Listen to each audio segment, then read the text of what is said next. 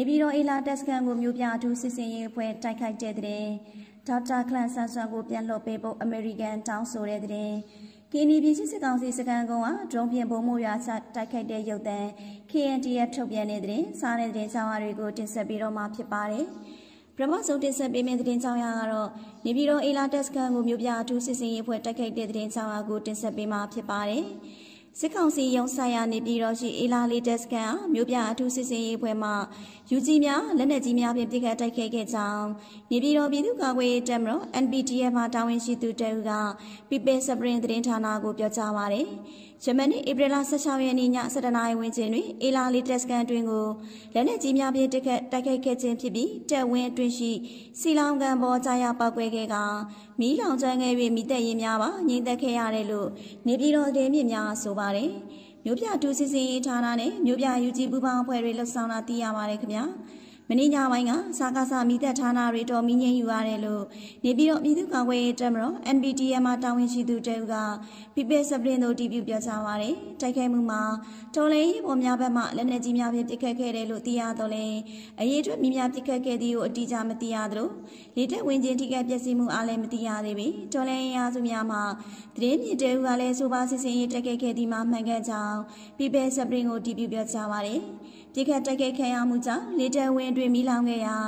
လေဝင်းမြို့နယ်မိသက်စကန်မှမိသက်ရှင်များအေလာနယ်မြေမိသက်စကန်မှမိသက်ရှင်များတောင်ဝတီနယ်မြေမိသက်စကန်နဲ့ခရမိသက်စကန်မှမိသက်ရင်များတွားရောက်မိငိမ့်တက်ခဲ့ရပြီးရမန်နေ့ည7:49မိနစ်ခန့်တွင်မှမိငိမ့်တက်နိုင်ခဲ့ကြောင်းနေပြည်တော်သတင်းမြင်များပြောကြားပါတယ်သို့တော်မိလောင်ကျွမ်းမှုမှာ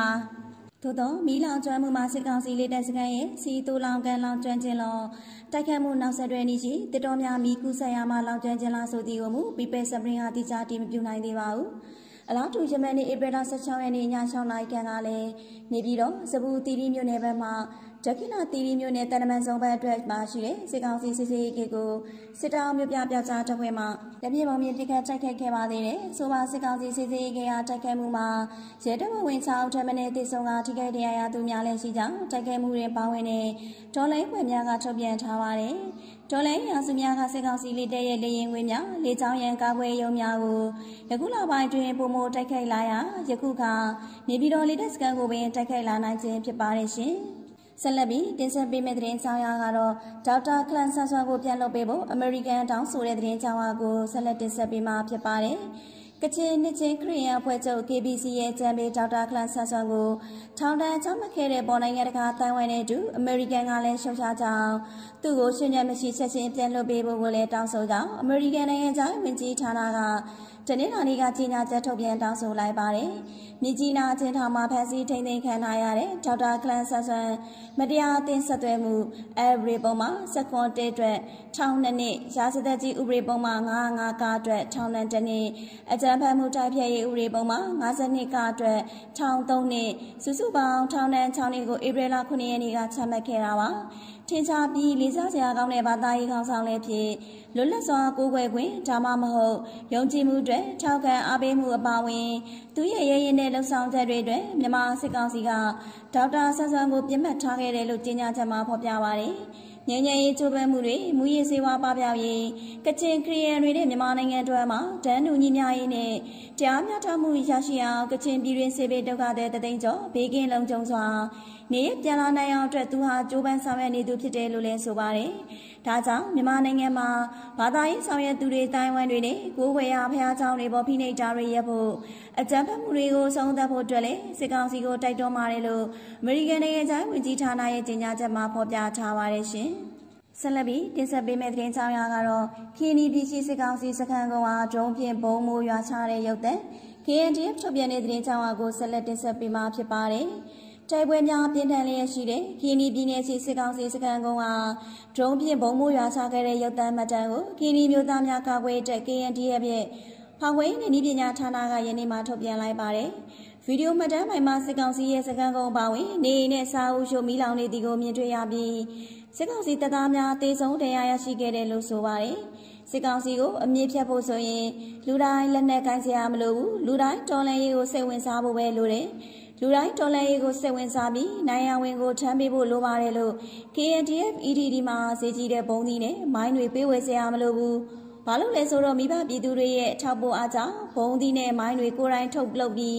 အသုံးပြုနိုင်တာကြောင့်ဖြစ်ပါတယ်။ ကိုရိုင်းထုတ်လုပ်နိုင်ရင်ဝယ်ရခတ်တာပြောစရာမလိုတော့ဘူးလို့ KNDF EDD တပ်ဖွဲ့ခေါင်းဆောင်ကပြောကြားပါတယ်။ထို့ကြောင့်စစ်ကောင်စီတပ်ကိုအမြန်ဆုံးရှင်းမုံနိုင်ကိုပြည်သူများအနေနဲ့လူအားငွေအားဖြင့်ဆက်လက်ပါဝင်ပေးရန်၎င်းကတောင်းဆိုပါတယ်။ KNDF EDD drone တပ်ဖွဲ့ဟာလက်ရှိဒီမော့ဆိုမြို့နယ်ရှေ့ချမ်းနဲ့ဘော်လကဲမြို့နယ်ဘက်မှထိုးစစ်ဆင်လာတဲ့စစ်ကောင်စီတပ်ကိုတိုက်ခိုက်ရမှာပါဝင်နေပါတယ်။ဖေဖော်ဝါရီနောက်ဆုံးပတ်ကစပြီးကင်းနီပြည်နယ်အတွင်းကိုပင်လောင်းမြို့နယ်ရှားတော်မြို့နယ်ဒီမော့ဆိုမြို့နယ်နဲ့ ဘော်လကဲမြို့နယ်တီတီတို့မှစစ်ကောင်စီတပ်ကစစ်မျက်နှာလေးခုဖင်ကစုစုပေါင်းစစ်ကြောင်း၁၂ကြောင်းဖြင့်အပြင်းထန်ထိုးစစ်ဆင်ခဲ့ပါတယ်။မြေပြင်စီးရေးသတင်းများအရစကားကနှစ်လက်အောက်ခံရှေ့လဲပိုင်းတိုင်းစစ်ဌာနချုပ်ရှာလာခမှာတရင်များပါဝင်တမ55တမ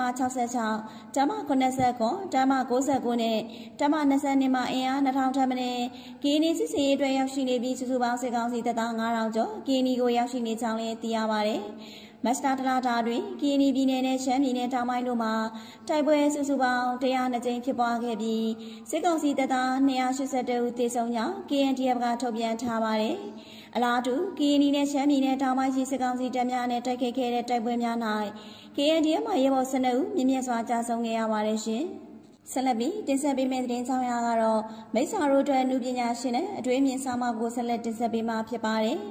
မြမမြမခေဟာရောမမြို့မီလောင်စဉ်တရောထိုးနေတဲ့ပုံစံဖြစ်နေပါတယ်။ခွဲချမ်းစိတ်ပြမြမမြမခေဟူသည့်ရောမမြို့မီလောင်တကယ်တော့ဓာတ်ပြည်နဲ့မီလောင်တိုက်သွင်းထားခံရခြင်းဖြစ်ပါတယ်။ကမ်လူပါဝင်ထိုးထိုးသောဖြစ်ရများဟာနေစဉ်မပြတ်စစ်ဘလူးတို့လက်ချက်ဖြင့်တေဆုံးသူ၏အတွက်အတိအကျမသိနိုင်တော့လေစောင့်ကြည့်တွက်ချက်သောအဖွဲ့တချို့က3300နီးပါးရှိနေပြီလို့ဆိုကြပြီးမိလောင်တိုက်သွင်းခံရတဲ့အိုအိမ်မှာ။ အောက်တောင်းကျော်ရှိလာနေပြီဖြစ်ပါတယ်။ဤကရောမမြို့မီလောင်သည့်ထက်ဆိုးရတဲ့ခြေနေဖြစ်ပြီးနီယိုထက်ရက်ဆက်ရုံမာတဲ့ဘရင်များဟာမြမအနွေဥရင်ပေါ်ထွန်းလာခဲ့ပါတယ်။ တရောထိုးကြတဲ့ခေတ္တနီတို့များဟာမိသူများနီခေစနစ်ကြောင့်စဉ်းစားချင်းချင်းညံနေပါလာတဲ့မြမပြည်တွင်အများခေါ်ချတဲ့အမှုပညာရှင်ဟူသောနီတို့များသာဖြစ်ပါတယ်။သို့သောအမှုပညာရှင်တွေဟာလိုအပ်လာပါတယ်။အနုပညာအားတီတွင်စံစာမှုတည်းဟုသတ်မှတ်တတ်ကြတော့လေအနုပညာဟာတီတွင်စံစာမှုနဲ့လားလားများမဆိုင်တဲ့လွတ်မြောက်ရာတစ်ခုသာဖြစ်ပါတယ်ခန်းစားချက်တစ်ခုအရှိန်နေအချိန်ခါတစ်ခုခုနဲ့ကြုံတွေ့မိတဲ့အခါ ဖြစ်ပေါ်လာတဲ့စိတ်ကူးမှအရင်ခံကထုတ်ဖော်ခြင်းသာဖြစ်ပါတယ်အနုပညာရဲ့ဒီကမြပြဟာအမှန်တရားဖြစ်ပါတယ်အမှန်တရားမရှိရင်အနုပညာမရှိခြင်းအမှန်တရားကိုမသိရင်အနုပညာခံစားမှုမှရှိနေတာဖြစ်ပါတယ်အမှန်တရားကိုသိရှိခံစားတတ်သောလူတစ်ယောက်ကအနုပညာဆိုင်ရာပစ္စည်းတစ်ခုခုအားအသုံးပြုလိုက်စဉ်အနုပညာဆန်သောတန်စင်များ၊ကြပြားများ၊ဆုပ်ချက်များ၊စာပိုင်များ၊ကာချိုးကာဟန်များထွက်ပေါ်လာရပါတယ်။ ထို့သောအနုပညာဆန်ရန်ရင်ဘတ်တွင်မှတင်းကျပ်နေသောခံစားချက်များလိုတယ်။မျက်ရည်များလိုသလိုရှင်းရှင်းမြစ်တာဆင်များလည်းလိုပါတယ်။ဖွင့်ဟာခြင်းသောရဲရင်နဲ့သွေးရည်များဟာလူခန္ဓာကိုယ်တွင်ပွက်ပွက်ဆူလာသည်မှာအမှန်တရားကပေးမိအနုပညာသားဖြစ်ပါတယ်။ဆိုလိုသည်မှာအနုပညာဟူသည်အမှန်တရားအားကြောခိုင်းလေးမရှိအနုပညာမှန်လင်ဓာမိုးထားတော်လဲအမှန်တရားအားအချက်အသက်နဲ့ခုခံကာကွယ်၏ စီးပွားဖြစ်ထုတ်ကုန်တဲ့အနုပညာမြမပြည်အနုပညာရေးသွေးတခန့်ရက်ခဲ့သည်မှာကြာမြင့်ခဲ့ပြီဖြစ်ပါတယ်စီးပွားဖြစ်လုပ်ငန်းသာအစဉ်ဆက်တည်ရှိခဲ့တဲ့အနုပညာဆိုင်ရာပစ္စည်းသုံးရှားသူတို့အားပရိသတ်တို့ကအနုပညာရှင်ဟုသတ်မှတ်လာကြသည်မှာလည်းကြာမြင့်ခဲ့ပါပြီအနုပညာဟာရောင်းကုန်မဟုတ်သလိုလဲလှယ်တဲ့ကုန်ပစ္စည်းလည်းမဟုတ်ပေအသက်ထက်ရေးကြီးသောအရာတစ်ခုသာဖြစ်ပါတယ်။ ဝမ်းစာဟူဒီမှာအမှုပညာဆိုင်ရာလိုအပ်ချက်တစ်ခုမဟုတ်ပဲငွေကြေးဟုပြောဆိုကတလွဲလန်းချောင်းလွဲခဲ့သူများမှာအဆိုပါအမှုပညာရှင်ဟုမိမိကိုယ်ကိုသတ်မှတ်ကြသူများသာဖြစ်ပါတယ်။ဝမ်းစာဟူဒီမှာငွေကြေးမဟုတ်ဝမ်းစာဟူဒီမှာရင့်ကျက်မှုအမှုပညာဆိုင်ရာစကားပြောမှုသာဖြစ်ပါတယ်။ထမင်းငတ်မှာဆိုသည်အမှုပညာလောက်ရသည်ဆိုသည်မှာလီးဆဲသောစီးပွားရေးလုပ်ငန်းသာဖြစ်ပါတယ်။အနုပညာသည်ဆိုသည်မှာထမင်းတလုံးအတွက်အမှန်တရားအားချမရောက်သည့်လူစားမျိုးဖြစ်ပါတယ်။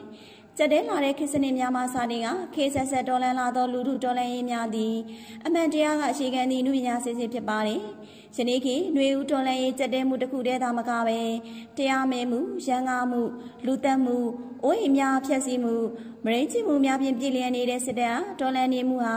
အနုပညာစစ်စစ်ဖြစ်ပါတယ်။အမှန်တရားတာမန်လူများထက်ပိုမြင့်တတ်သောအမှုပညာသည်များဟာလူလူရဲ့ရှေ့မှာဥဆောင်တတ်ကြပါတယ်။ သို့တော်လည်းအမှုပညာပင်ဖြစ်ပါတယ်။ဆိုလိုရင်းမှာအမှုပညာသည်မှန်လင်အမှန်တရားရဲရင်ပြတ်သားစွာကိုးကွယ်သိမြင်ရမည်။အမှန်တရားသိမြင်ဖော်ထုတ်သောအမှုပညာသည်များအားတရားမဲ့ပြုကျင့်သူတို့ကကြောက်ကြတယ်။ဒထိုချိန်မှာတော်လဲမော်ထောက်ခံနေတဲ့လူတို့အားလမ်းလွေစီရင်သွေးကွဲစီရင်ဝေဝါစီရင်စစ်ဘလူးတို့ကမာယာဖြင့်စီယုံတင်းတင်းတွေပေါ်မတိမမြင်နဲ့အမှုပညာတဲ့ဟူသည်မရှိဟုသတ်မှတ်နိုင်ပါတယ်။ ပြည်သူတန်ကရရှိခဲ့တဲ့အားပေးမှုများဖြင့်စားခဲ့ဘူးသောထမင်းများအားကျေးဇူးမပြုသောတကအနုပညာအားတစ္ဆာဖောက်ကပြည်သူအားဓာတ်ထောက်အကြံဖက်နေသောစစ်မရင်းကောင်တို့ရဲ့ဇက်စင်ထက်တွင်ဖြောပြနေသူတို့ရဲ့အသက်ဟန်မှန်များဟာ